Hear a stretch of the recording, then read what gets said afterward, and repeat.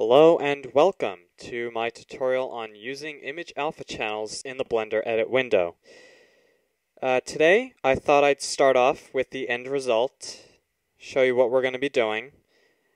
Uh, this is, I'm making this tutorial mostly because I forget how to do this sometimes and I'm pretty sure most people new to Blender uh, start off not knowing how to do this. So I thought, you know, might be useful. Uh, before we get started, however, I'd like to show you this image I got off the internet. This is an early image from the game Fable 2 by Lionhead Studios.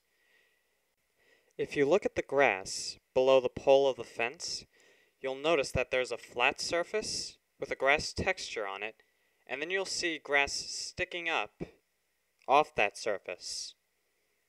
If you look closer, you can tell that there are about one or two polygons with grass textures on them that are being used to create the tall grass that is sticking up.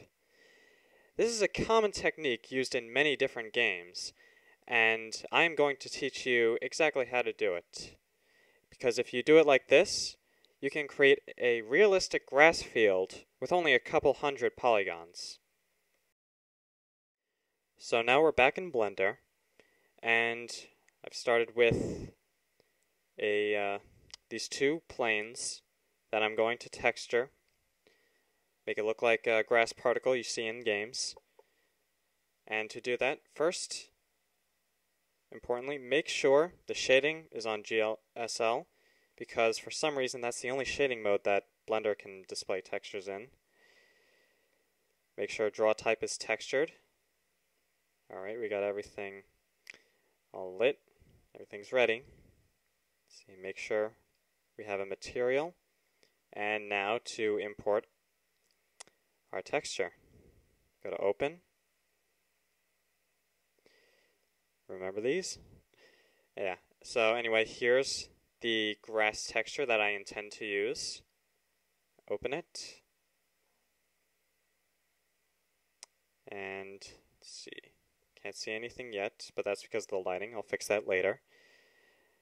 Uh, the first thing we want to do is open up the image sampling tab and make sure alpha use make sure you do that that's very important because if you forget that it's going to invert the uh, alpha channel and it's going to look all messed up believe me I just found that out so now we go to influence click alpha now we're going to go back to the material tab and see, check transparency and open it up. Make sure it's on Z transparency and we're going to turn alpha all the way down. And see, we're already getting something. Even though it's not lit up, you can you can see the shapes in there. And uh, now that we've got that, I'm going to uh, right click this and uh, make it share the material. There we go. All right.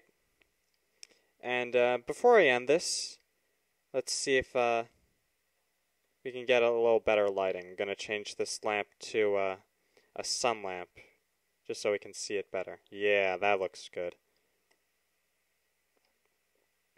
All right. That looks great. And uh, before we go, let's render it in the game engine. See how it looks. I think it looks pretty good. A few mistakes.